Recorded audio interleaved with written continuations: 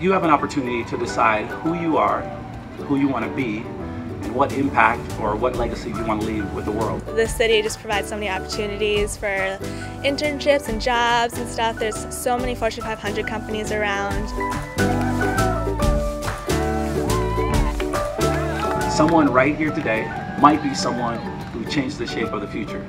Being able to make an impact in my community and being able to say that, you know, I met new people, I tried new things, um, I got involved in stuff like that is something that I really hope to do. The only question you have to answer is, is it going to be you? I believe that I will be able to accomplish my goal of being a successful businesswoman and having a happy life with relationships that I start here and continue on for the rest of my life.